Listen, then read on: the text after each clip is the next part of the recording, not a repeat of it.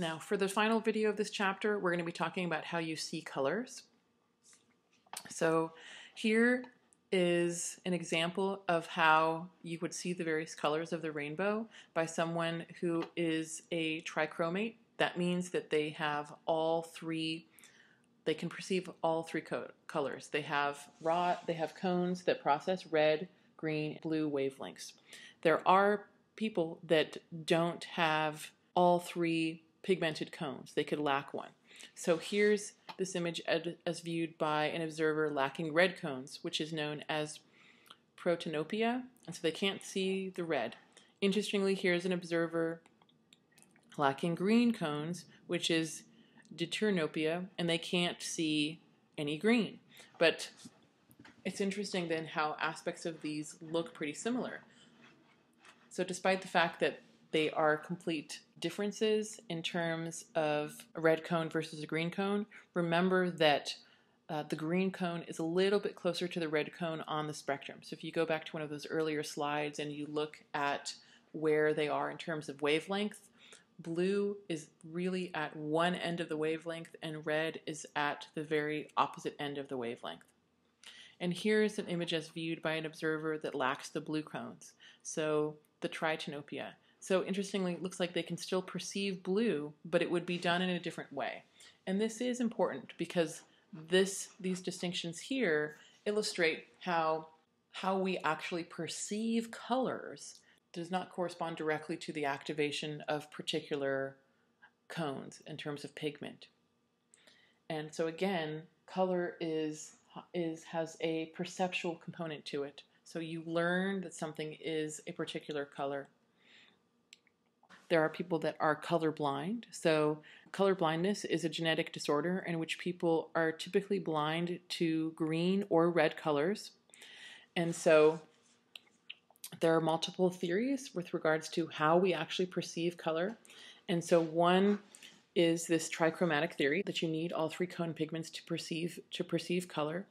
And the fact that you cannot, if someone is colorblind, they cannot distinguish these two, these different colored dots.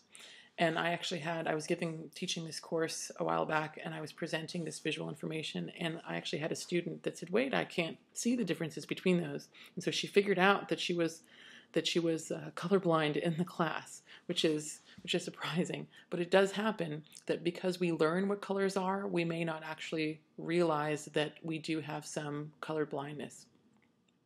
So this makes a 74, and it's um, and if you are um, if you do have uh, color blindness, you might also happen to only see a 71.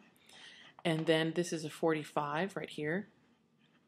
So people that uh, are low in a particular cone or missing a particular pigmented cone, they won't be able to see these, these numbers through distinctions in color. So here's the trichromatic theory. The trichromatic theory is an explanation of color vision based upon the coding of three primary colors red, green, and blue. So we have cones that are sensitive to three different wavelengths. So this really supports the trichromatic theory. There are some challenges, though, that it's not just related to the perception of these pigmented cones. So, based on trichromatic theory, the color we see is determined by the relative responses of the different cone types. And so that gets back to what I talked about earlier, is that each of these cones they have um, a peak responsiveness to a particular wavelength, but then they also perceive things that are a little bit shorter and a little bit longer than that wavelength. So the relative responsiveness of the different cones could give rise to nuances in color.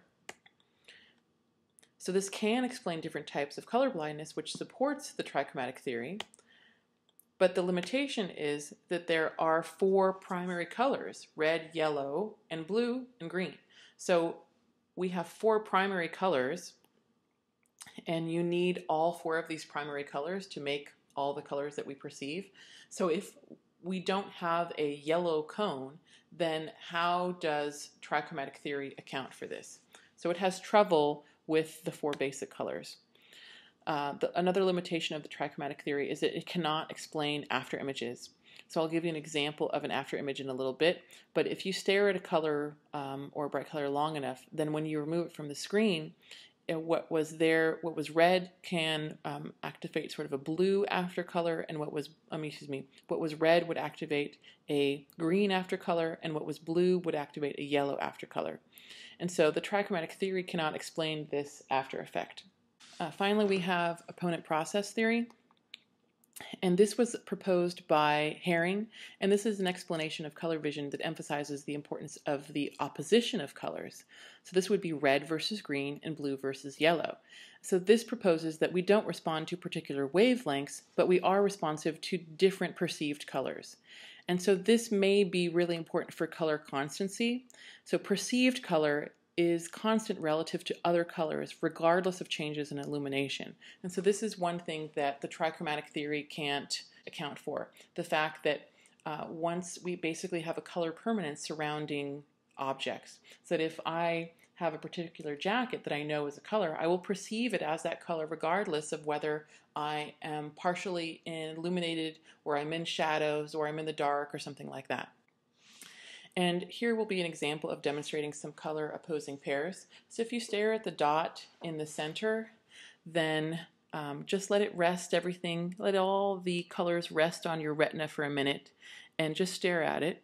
And then once I take it off of the screen, then you'll see a differences in color.